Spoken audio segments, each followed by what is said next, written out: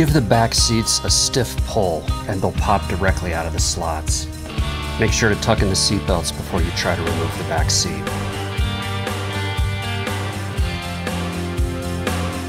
The scuff panels pop right out. Just be careful when you're putting them back that you don't squish the screws. Ask me how I know.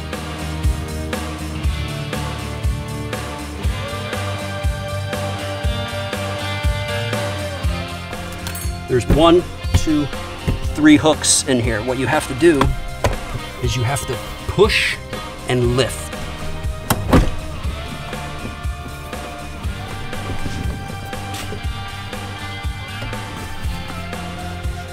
Don't try and pull it out yet.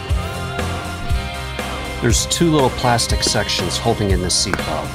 If you stick in a flathead screwdriver, you can push the button, pop it open, pull the seatbelt right out.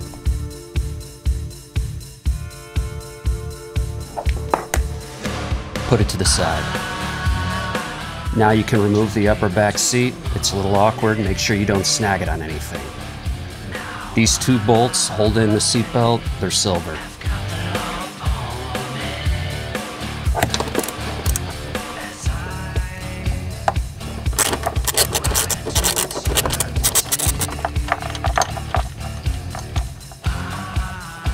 Let's just take a minute and look at the quality of these welds.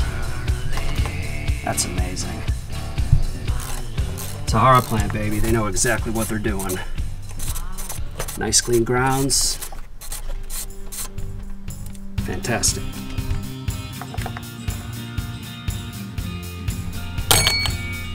Pull off the plastic trim in the door. If you have any gummy fledge, now might be a good time to treat your weather stripping. I always reaffix it just to make sure I don't snag it on my feet.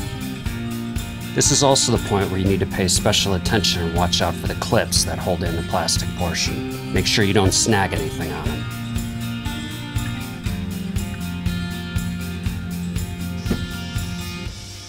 I don't know about you, but I'm in the habit of always breaking these blue pins that are back here. So keep an eye out because they're not anchored totally. They just slide in and out of their slots. So what you're gonna do is you're gonna pull this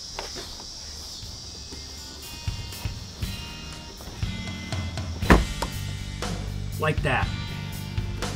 And as you can see, the way that I did it, it kept all of the pieces in there, the actual plastic screws, and that way you don't break them, right? I'm constantly breaking the things. I'm having a little bit of trouble with this one, so I am gonna pull towards me and then pull out. And you can see, fell right out. But I heard it and I got it. One stayed in, make a note of it. You've got four clips, one, two, and then two back here that go under. I prefer to go in the front. Pops right out.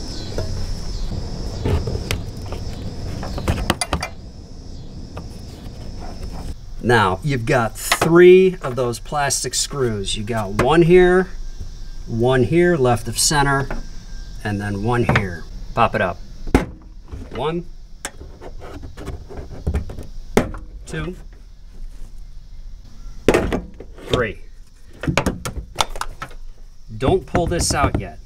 First thing we're gonna do is we're gonna remove the seatbelt, both seatbelts. And then what you got to worry about here is the brake light. Right underneath there. See, there's there's the sub. But first things first, slide the seatbelts through the holes, free them up, and let them hang.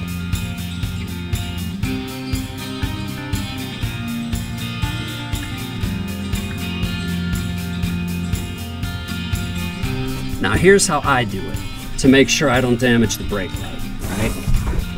Just give this a little pop, and then you'll see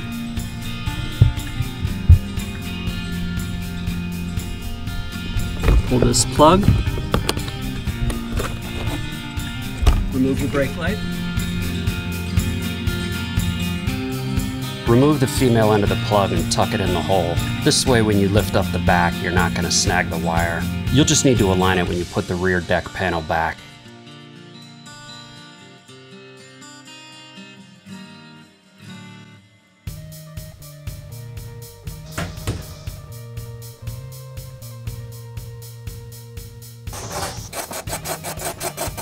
At this point, if you want to remove the sub, gently unplug the plug and remove the 10 millimeter bolts.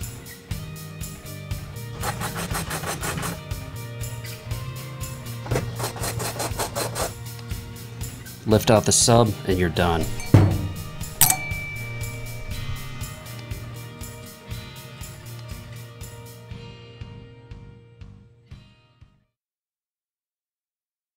you